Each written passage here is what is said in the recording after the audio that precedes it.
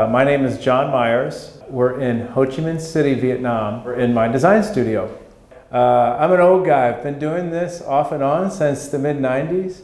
In Taipei, I started teaching English and I had an insane curiosity about the world. That was my first time traveling abroad from the States. And so the number one thing that crossed my mind was how do I just keep this going? Like, what's home and why do I want to go home? That led me down the path of software. That led me down the path of design. And so now I'm a practicing uh, user interface, user experience designer. And so that took me down a pretty long road. I like to see as many people involved as possible. So the more people that consider it, uh, great. Just know the challenges that are involved.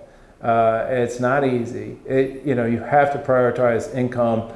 Personally, I'm not into the idea of passive income. When you're building passive income assets, they inevitably atrophy.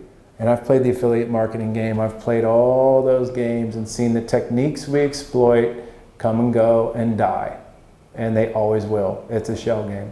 You have to be really double down on either skill mastery and amplifying that skill to the world, or you have to be really double down on asset creation. Anytime you're selling the dream, you're setting yourself up and others for failure because you're saying all you have to do is duplicate these results and these techniques and you'll get the same results. And so that's not realistic, you know the people sort of selling the dream and like, oh, hey, look at me on the beach with my cocktails, my laptop. Nah, that stuff's tired. That's silly. It's not fun to work on a beach. The glare is bad. Uh, you need a proper place to work if you're going to be serious about your craft. 10, 15 years ago, it didn't occur to most people that this was even a possibility. You went to school, you got a job, you got married, you had kids, you got your house, you went into debt, you retired and died.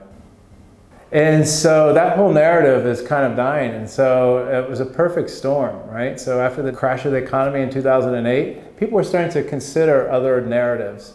And so I think it's really good that the digital nomad uh, narrative is out there so people can point to it and they can point to some people that, have, that are having some success. Uh, the downside is that there's really unrealistic presentations of the narrative.